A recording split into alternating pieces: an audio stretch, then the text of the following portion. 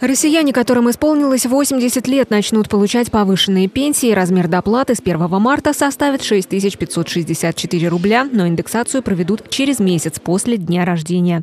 Новые пенсии ожидают военнослужащих и правоохранителей. В среднем по стране выплаты составят 33 тысячи рублей. Прибавку получат не только за март, но и за два предыдущих месяца. Кроме того, с марта пропущенные надбавки смогут получить пенсионеры, которые работали и уволились в ноябре или декабре прошлого года.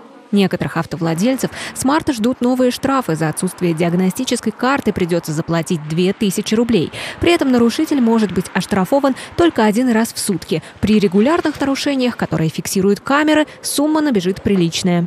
Машина может нарушать правила, и в месяц, если штраф составляет 2000 рублей, совокупный штраф может составить 60 тысяч рублей, если машина эксплуатируется каждый день. При этом надо, конечно, вспомнить, оговориться, к кому это относится. Это автомобили сроком 4 года и старше, это служебные автомобили, это личные автомобили, которые используются в служебных целях, это коммерческий транспорт и э, такси, э, грузовой транспорт и вот подобного рода автомобили. С начала марта водителей и тех, кто получает права, начнут проверять на регулярное употребление алкоголя и наркотиков. Это касается только тех граждан, у кого выявлены признаки соответствующего заболевания или кому потребовалась медсправка в связи с лишением прав за езду в нетрезвом виде или отказ от медосвидетельствования. Ужесточается контроль за оборотом оружия.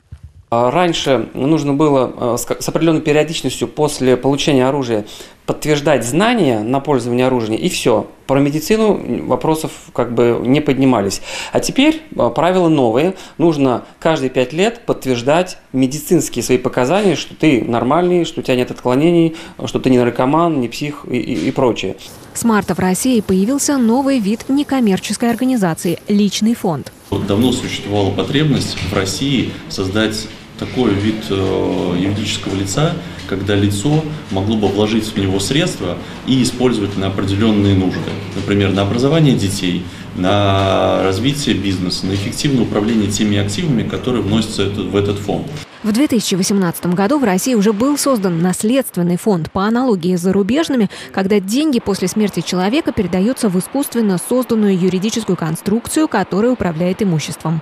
Пример – это Нобелевский фонд.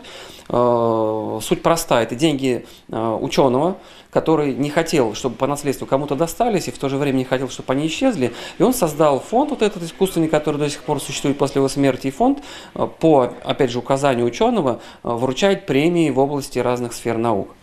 И вот Логика с личным фондом такая же абсолютно, только при жизни создается э, эта, эта штука. И правда только для тех, кто располагает 100 э, миллионами и больше. С начала весны в стране легализуют таунхаусы, а фермерам разрешили строить дома на землях сельхозугодий, но с определенными условиями. Жилой дом должен быть не более трех а, этажей и не более 500 метров квадратных метров площадью. Очень распространенная история, когда у нас формально земля сельхозназначения, но она может находиться рядом с каким-то населенным пунктом, но формально туда не входить. И фермеру может быть удобно как раз построить жилой дом, а, вот именно жилой дом в статусе жилого дома со всеми последствиями именно на землях сельхозназначения.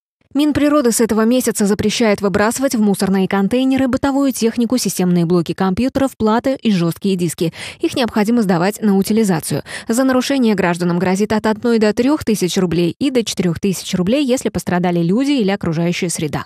Вводятся штрафы за незаконный сбор благотворительных пожертвований с помощью ящиков. Это мера борьбы с мошенниками. Если пожертвования собирают организации или люди, не имеющие на это права, штрафы составят 20-50 тысяч рублей для для юридических лиц и от 3 тысяч до пятикратной стоимости похищенного имущества для физических лиц. Светлана Кудрявцева, Николай Сидоров. События.